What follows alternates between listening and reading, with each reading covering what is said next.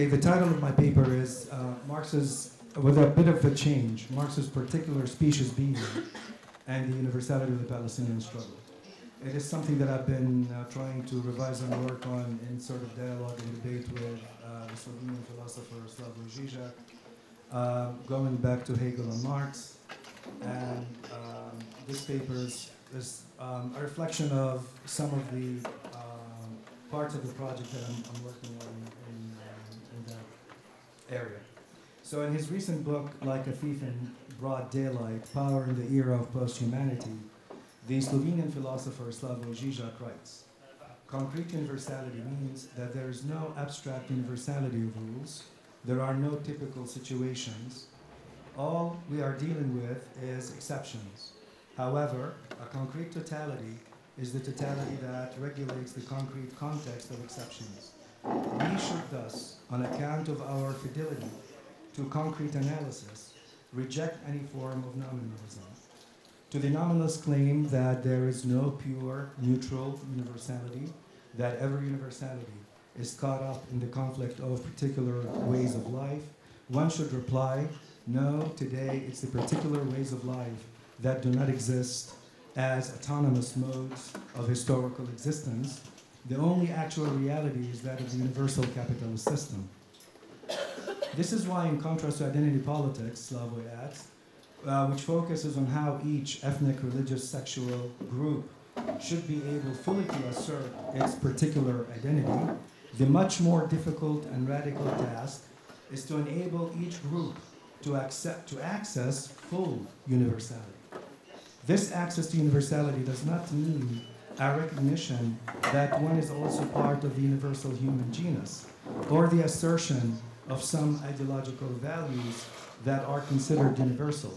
Rather, it means recognizing one's own universality, the way it is at work in the fractures of one's particular identity, as the work of the negative that undermines every such identity.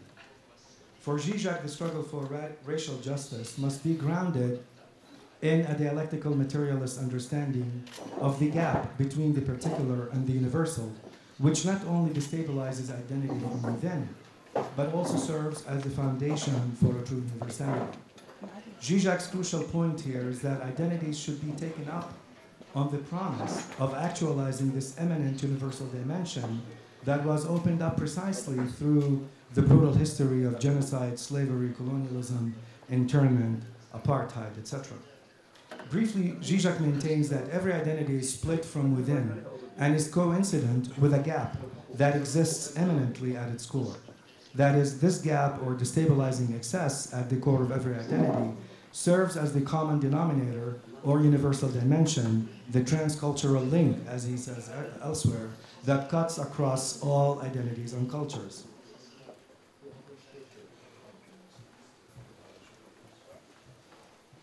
Universality, in this sense, cannot be obtained by ascending higher up to any abstract notion of common humanity or the family of man, but by going deeper down into the gaps and inconsistencies at the core of the individual and culture. However, identities which are misrecognized as self-enclosed and substantial are prone to repressing this universal dimension. Zizek draws on Hegel's thought to develop this notion of concrete universality.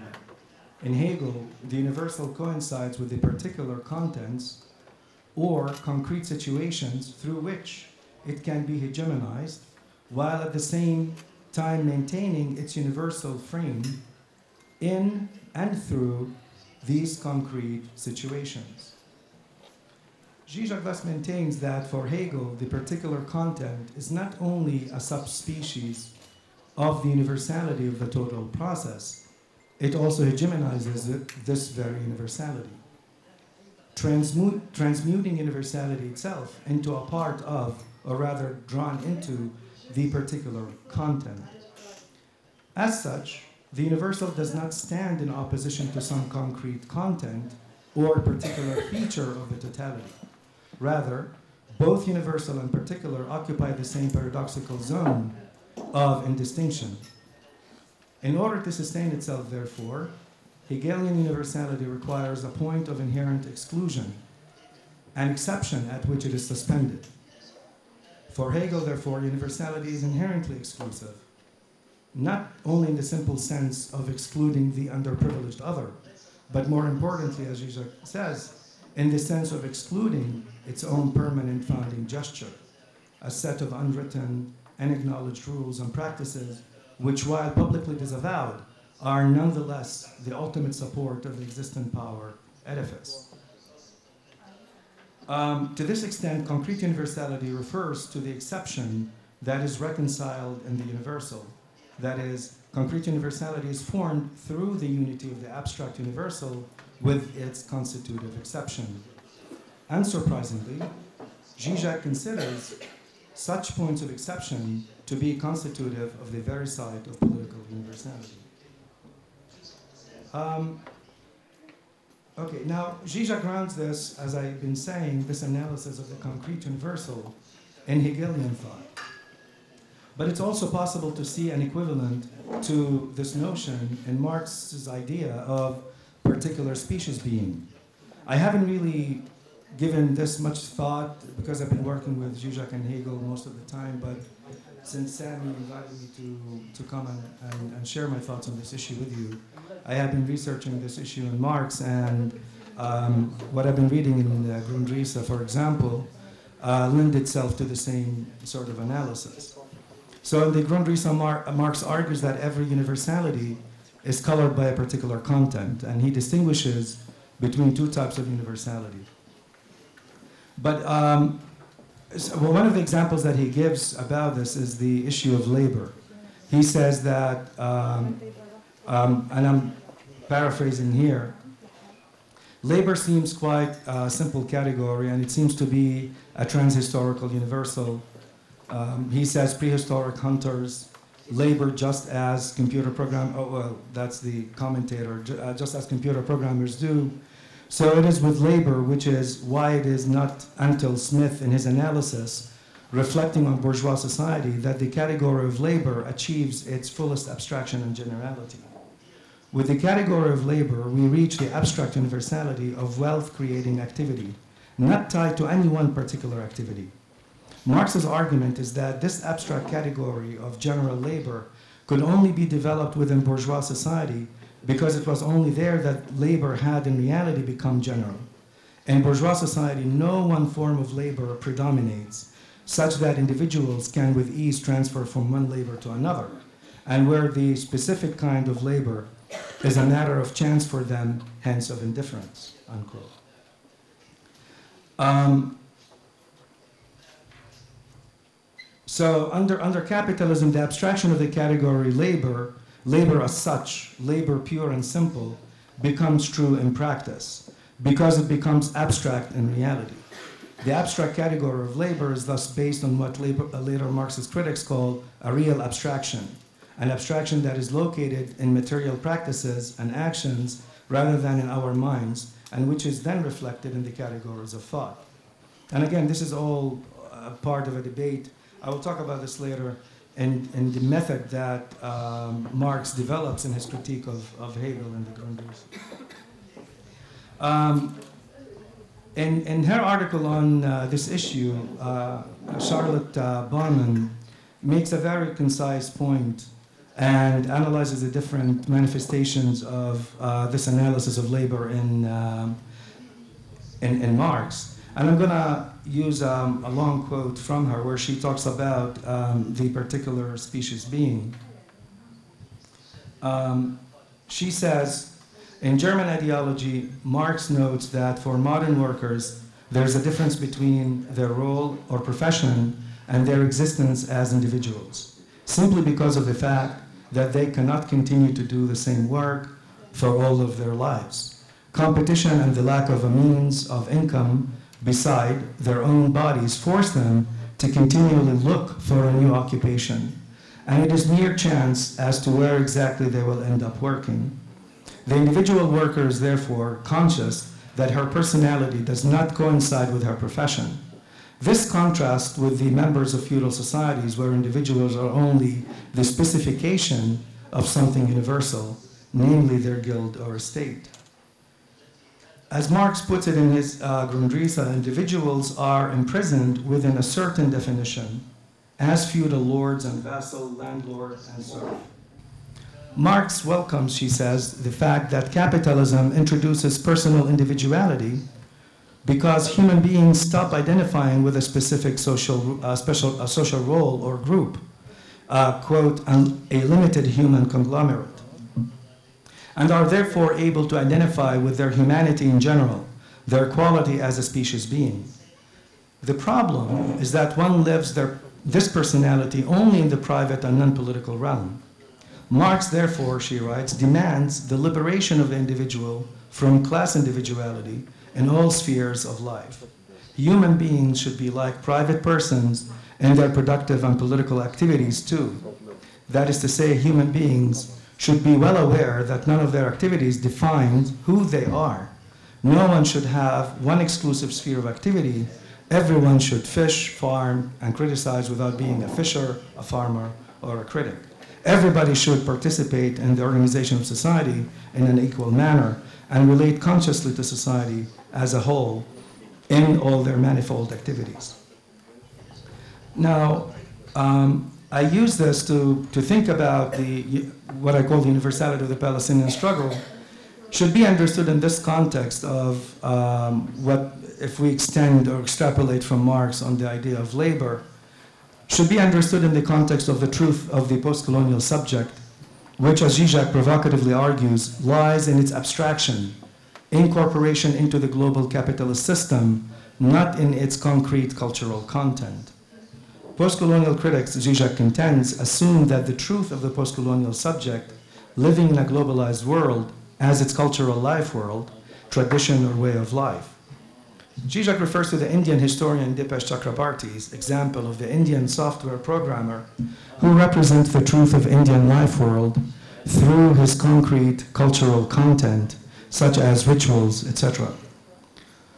For Chakrabarty, this Indian programmer is a paradigmatic cipher of the unproblematic simultaneity or normalized coexistence of the universality of modernization and of particular life worlds. Zizek, however, correctly notes that, quote, postmodernity is not the overcoming of modernity, but its fulfillment. In the postmodern universe, pre-modern leftovers are no longer experienced as obstacles to be overcome by progress towards a fully secularized modernization, but as something to be unproblematically incorporated into the multicultural global universe. All traditions survive, but in a mediated, denaturalized form. That is, no longer as authentic ways of life, but as freely chosen lifestyles. In other words, within the totality of global capitalism, elements, uh, Zizek says, of, a pre of pre-existing life worlds and economies, including money, are gradually rearticulated as its own moments, exapted, as he says, with a different function. I'm going to skip this point about uh, Marx's method in the Grundrisse because it, it, it, sort of adds to this notion, explaining exactly how this links to, or the, the premises of, of Zizek's argument on the universality of the subject. And I want to take a moment, um, or thinking about this through some of the recent debates that erupted in pa uh, Palestinian circles around, uh, after, in the aftermath of the March of Return, and the whole debate that erupted about the humanity of the Palestinians, etc., etc. Um, I have another example. I don't know if I will have time to uh, to talk about. Um, a biography by the Palestinian journalist Raymonda Tawil, uh, Arafat's mother-in-law, uh, who wrote a book um, in the late 70s called My Home, My Prison, where she calls for mimetic identification of the Palestinians as the Jews of the Arab world. And I wanted to talk about the problem, like simply put in, in my analysis, uh, which is the whole issue of the universality of, of um, or the eminent uh, universal core of identity is something put in simple terms, like some people call Edward Said the last Jewish, uh, Jewish intellectual. When many Jewish intellectuals, like Arendt and others, try to distance themselves from, oh, distance themselves from Jewishness.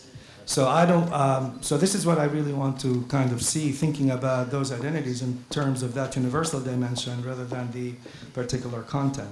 Anyways, in, the, in that debate about the humanity of the Palestinians, I will just go straight to uh, the problem. You know, the debate about uh, framing Palestinian humanity in international human rights regime or other sort of frameworks, um, and then the shift to nonviolent resistance. Um, but what happened in that debate, they were met with denunciations of the dehumanization of Jews and Zionists by leftist circles on account of their purported anti Semitism. The backlash came pretty quickly. In an op ed for the Washington uh, Post, uh, executive director, Rabbi Jill Jacobs, apologizes for and defends the horrors of Israeli violence against Palestinians during the Great March of Return. Jacobs is clearly interested in the dehumanization Olympics, as I call it, in which the humanity of Jews and Zionists matters more than the Palestinians.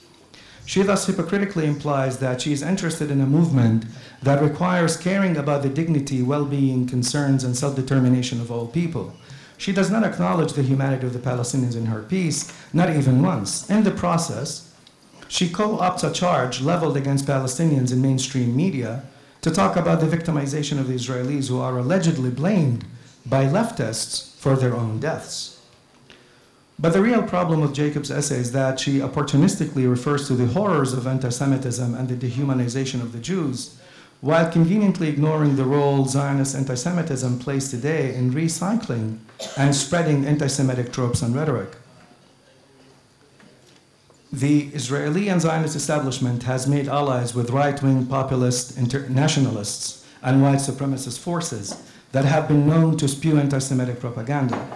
Trump's recent infestation comments about immigrants reeks of noxious anti Semitic Nazi language.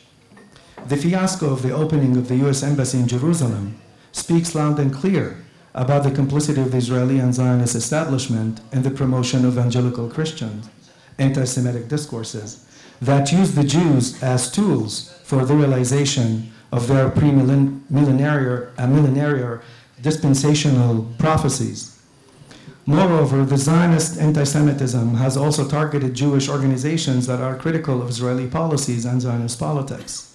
Um, uh, Jewish Voice for Peace uh, and other activists. Finally, as Zizek points out, in one of his pieces, the Israeli government's calls on European Jewry to immigrate to Israel is the wet dream of every European anti Semite, for it helps realize their dream of a Europe free of Jews.